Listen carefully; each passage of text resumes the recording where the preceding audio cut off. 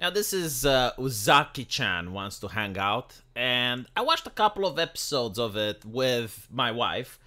I would describe it as a romantic comedy. It's not really my cup of tea, to be honest, due to the fact that it targets a much younger audience. I, I think it's for people between the age of 16 to 24. If you're older than that, you may still enjoy it, but you know, it's it's not really the stuff that I like to watch still, it, it, was great for what it was. Uh, the couple of episodes that I watched, and, and one of the reasons that I like it so much is due to the fact that it triggers the ever living shit out of the left. And, and the question is why though? Like, why is it that this particular anime triggers them that bad?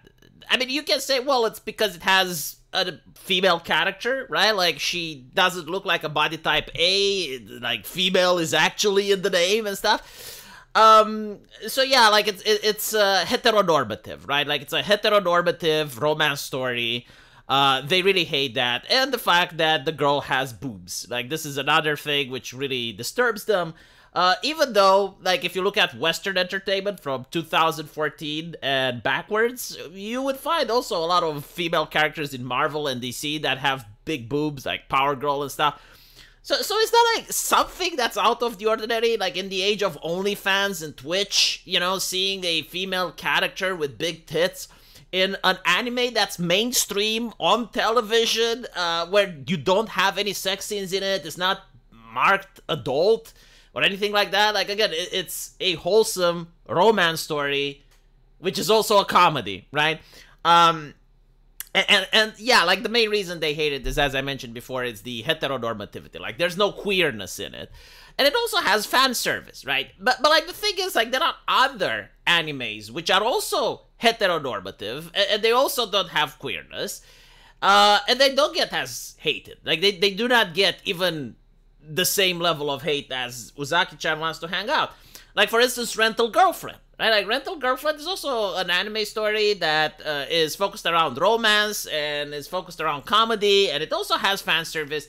But for some reason, it's like this particular anime, like this particular one, that infuriates them so much.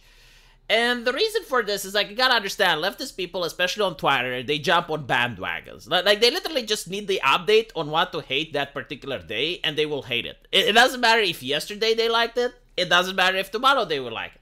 It's like, okay, well, all my friends today are shitting on this. I need to shit on this as well. What is it? Uh, the Hogwarts Wizard game. Okay, bad, horrible, dreadful. Elon Musk. Oh my goodness, uh, horrible, billionaire. Blah, blah, blah, right? Like this is how it's like to be a leftist. Right? Like a lot of the things they hate, they don't hate it because they actually hate it, but they want to show to their friends just how left-leaning they are. And, and in order to show that you're left-leaning, you need to hate something. Because all these people, you know, they're very different. Like they have different hobbies and ideologies, but like the thing that unites them is hatred. So if they need to hate an anime, they just do it. It's like, oh, what what is it to hate today? Okay, like Spider Woman comic. Oh, horrible, dreadful. Uh, Batman comic. They will hate that. Uzaki-chan. Now they hate this. Okay, so like this is like part of the reason. Like most people that hate it do so irrationally. They don't watch the show, or if they do, they just don't care about it. But they're told to hate it. So, so like, who gets to decide what needs to be hated? Well, well, what you need to understand about left-leaning ideology is that they are obsessed with optics and PR. I know it sounds a little bit bizarre, but like at the deep point, they are like they want to be viewed as the respectable people in society. The the perfect thing for a leftist to do is when they actually join a debate, the public already needs to look at them as an expert, as a decent human being, and as a respectable person. And the opposition has to be viewed as the opposite. So basically, in the case of Uzaki-chan, they really fucked up in the optics department because, you see, in Japan, there was this campaign in order to convince people to donate blood, and they used Uzaki-chan in order to get people to donate. And it was actually very successful. Uh, however, one leftist complained. And they said, oh, this is unacceptable, blah, blah, blah. Even though, like, Uzaki-chan, again, fully dressed, fully clothed, wasn't even in a sexual manner depicted. It was just like it exists. So they they really got upset.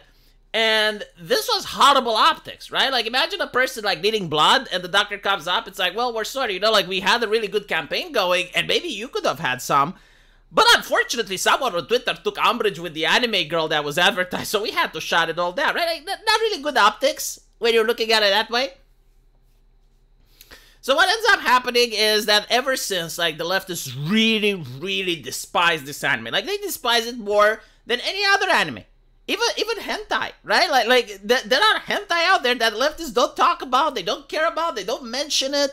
It's just like this one really enrages them. And everything is fine un- until you realize just how bad these people are. You know, if they hate bad optics, well, I'm going to give it to them.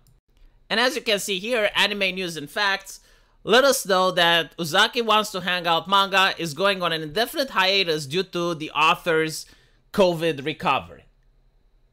Now, for those of us that actually went through COVID or know someone that went through COVID, especially if you get the bad case of it, it's not good.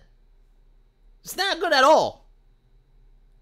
And you will see, like, all these people that want to farm good PR, they want to be viewed as the respectable members of society, and everyone else is they Khmer. It's like, oh, you're a Khmer. You know, I may be a Khmer, but at least I'm not like you. Like, like I will always know that even at my Khmer level, there are people so beneath me that I feel comfortable in my position. Like, I genuinely do not want your respect and admiration if you behave like that.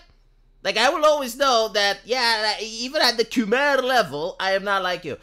So you have like, uh, and by the way, most of them seem to have Palestinian flags in the bio. They, they have like uh, the hammer and sickle. Uh, they they have pronouns. Like there there are a lot of things that they have in common. Like these individuals, on one hand, they will act as if they're going with their grandmother to Sunday church, and uh, they are the most decent members of society. And on the other hand, they talk about their OnlyFans and furry diaper shit. Unfortunately, we can't reveal that anymore because Elon Musk made the likes private, so it is what it is. But, uh, you know, like, this is actually the most mild one. Uh, I apologize, coronavirus. I was unfamiliar with your game. Again, if a leftist personality gets affected, everyone needs to, to treat it with respect and decency. But the moment, the very moment, someone that they don't like, and this is not even a right winger, this is just like a person that's making entertainment, making comic books to entertain teenagers. See, the fuck? You know, like if you think this manga is disturbing, let's do it like this. You tell me some theme or some scene from this manga that you find vile and disgusting, and I will tell you something from Game of Thrones that I find vile or disgusting. Let's see who runs out of things first. You know, do you want to play that game? You hit me with one of this, and I hit you with the Game of Thrones. Or, or you know what? Stephen King it. Oh fuck, like that that that would be incredibly horrible, especially if you go to the books. But uh yeah, so like this is uh one comment, here's another. Um did we just win? Right? Like just why though? Like why are you behaving like this? Um thank God thank God stay gone effing n-word. It's like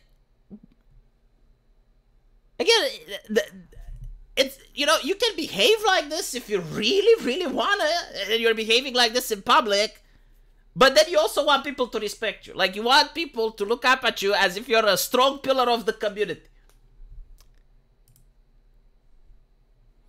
And and you know like they just keep going. Like I, i'm i'm going to stop here because it's downright disgusting. Again the thing that really bothers me is that this person isn't political they're not running a political party. They're not even American.